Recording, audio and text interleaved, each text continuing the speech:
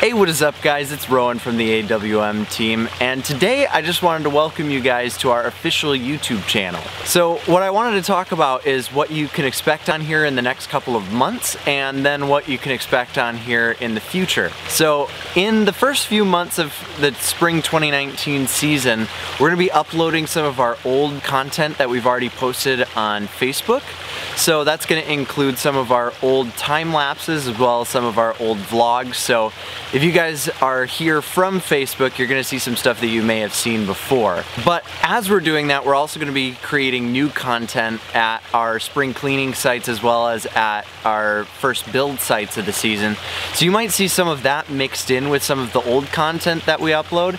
And then once we're through all of the old content, we're just going to be doing straight new uploads. So that's what our upload schedule is probably going to look like. So anyways, if you're interested in water features or you have any questions or comments you want to leave, be sure to leave those in the comments down below. And if you're interested in content like this, definitely consider subscribing.